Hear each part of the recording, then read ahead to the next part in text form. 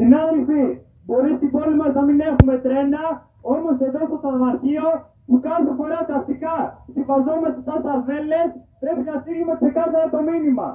Τιμάμε τους νεκρούς μας, δυναμώνοντας τον αγώνα. Απαιτούμε σύγχρονες ασφαλείς συγκοινωνίες, συνέχεια το λαό για να μην θρυνήσουμε άλλα θύματα. Πρόβληψη μόνο προσωπικού. Αξιοποίηση όλων των σύγχρονων επιτευγμάτων για ασφαλείς συγκοινωνίες πριν, πριν λιδωράκι στις σχολές μας.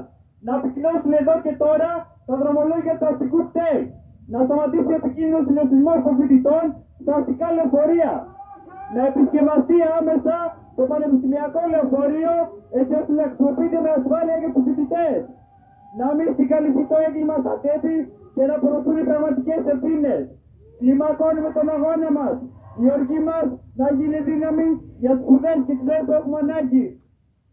Δεν υπολογίζουν ανθρώπινες ζωές.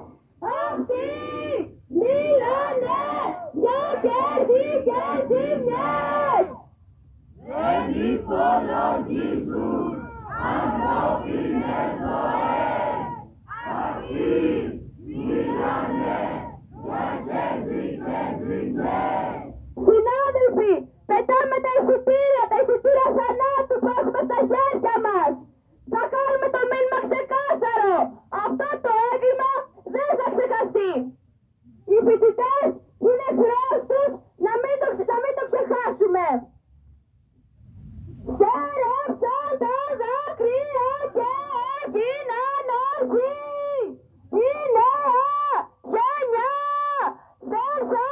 Oh!